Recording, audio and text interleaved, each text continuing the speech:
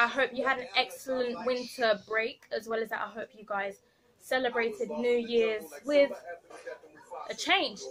Now, obviously, I don't believe in the whole like New Year, New Me sort of thing. Like, to be honest, that's a load of crap. But obviously, I hope you enjoyed the holidays all the same.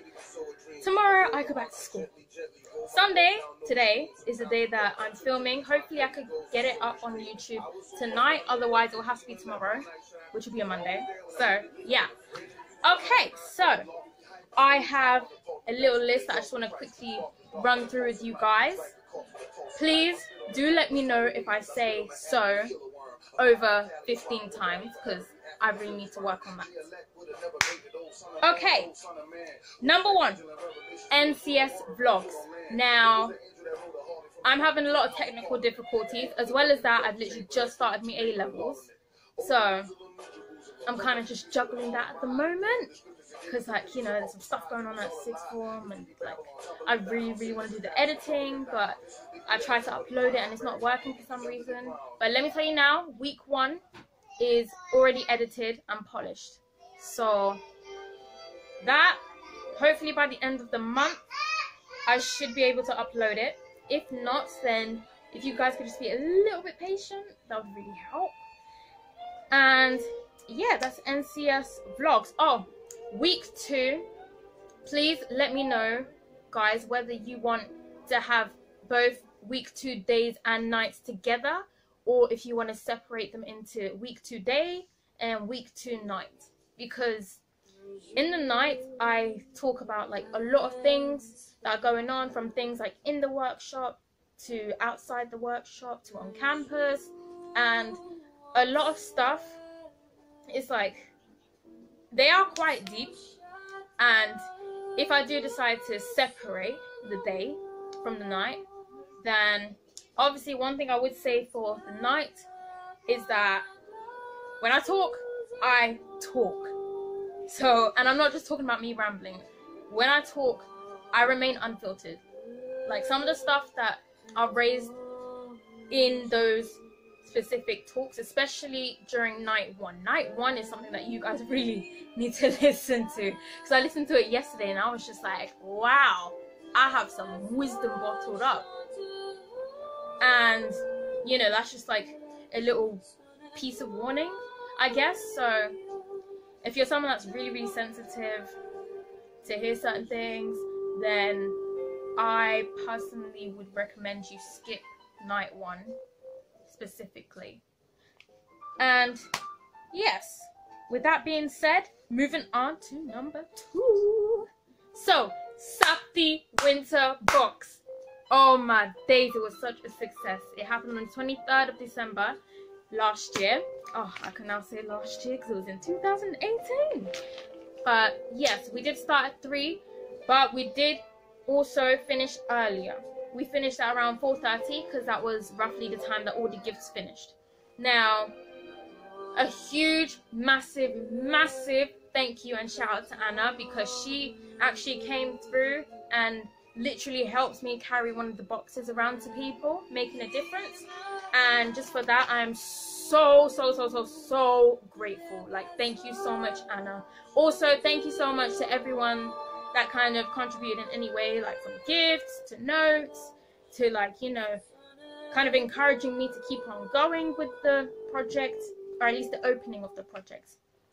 And 2019 is the year that you definitely want to be clued in to you the year you want to be clued into what's going on with SUFDY, especially because you know SUFDY's a one-man job. Like, yo, yo, I'm multi-talented, like I'm creative, like, yo. So there's gonna be some workshops as well as that.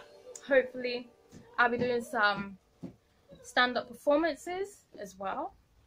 And maybe, who knows, we might have a little event. I don't think so, but you know, keep your eyes peeled, keep them open, and yeah, SUFDY, SUFDY, SUFDY, SUFDY. Like, I was blessed with some gifts from a complete stranger during the event. So he came once. I tried to give him a gift. No, I tried to give him a note. Sorry. And he said that he was in a rush 10 minutes later, I was about to go deeper into the high street and he came back. And he just like, oh, what's this for? Sort of thing. And then obviously I talked to him about what Stand Up for the Youth is about and why it is. And he was like really intrigued by it. And, you know, just one thing led to another. He felt that he had to give me like some presents as a gift. I asked him why, because obviously, if you know me, like I'm just naturally reluctant to like that sort of thing. And he said that something happened with his daughter, and for some reason she couldn't take it, and he had to fly back to Ireland. And obviously, for some reason, he couldn't take it with him. Man, he just thought, you know what, let me give it to you, because I really don't want to throw it in the bin either, and sort of thing. And I'm just really grateful and humbled, like literally just thank God for that. And there was another person that I met towards the end, well, which was at the end, and he got a note that said, "Never give up on your dreams." Obviously, I do personally believe in that. Never do give up on your dreams, no matter what age, sex, race, disability, and everything else. It don't matter. Don't matter your circumstance. It don't matter nothing. Trust. Like I'll tell you where I come from one day, and you will just be so so so so so shocked. And this man told me his story, told me that he was going through a lot, and I started preaching to him a little bit. I gave him some gave him some scriptures as well, and I also realized that he was also a man of faith. And obviously, I felt so happy knowing that I helped someone, you know, realize their potential, because like, this person was on the brink of losing it. And just like that one note that one note is why SUFDY is okay? I can't put an age bracket to SUFDY because if I tell you the original plan versus what I've now decided the majority of you are going to be so glad. Because if I'm honest there is SUFDY has no age gap sort of thing. Like I can do events for young people, I can also do events for seniors, I can also do events for like everybody because there's some stuff in the world that SUFDY has the potential to open up in the sense, you know? But that is for a whole nother video. Eight minutes already. Let's move on. Number three. Numero tres.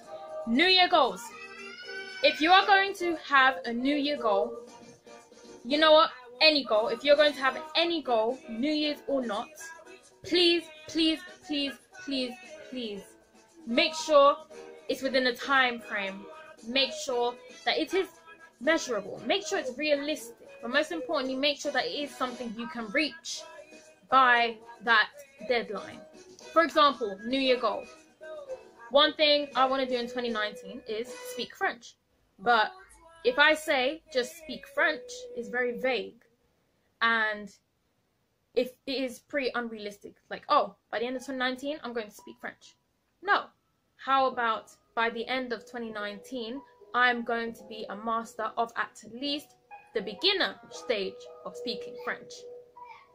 That is much more realistic, it is measurable, and it also has a deadline obviously that's not exactly how it's gonna go but like obviously speaking french is one thing i want to do in 2019 but you have to also understand stuff like that is not something that's just like automatic you know?